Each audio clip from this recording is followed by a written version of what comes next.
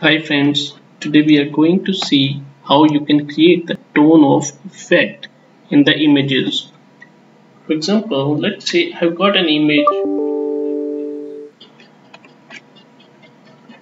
and I want to create an effect so that it appears like this, some torn off effect appears like this.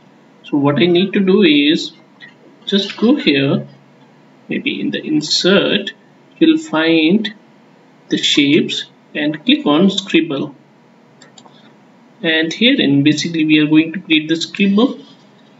That is create the effect like this and ensure that basically this completes a something like this. So that basically we have created the scribble which appears like this.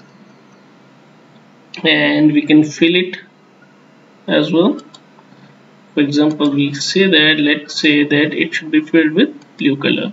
Now we, what we what we want is basically the only the top section should appear. So what we can do now is we click out here on the image then click then select the shift button. Okay? And then what we need to do is we go to the format tab. And in the format tab we have got the option.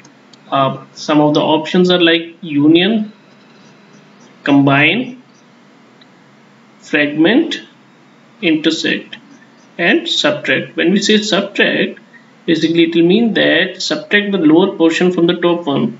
So select the subtract and now it appears like this.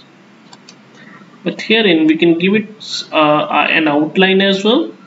For example, click on this one and then we select in the shadow, select the preset. We want the outer one offset the bottom that is these particular lines should be shown as offset.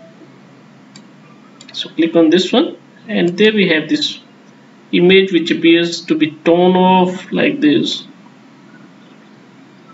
Thank you. Thanks for your time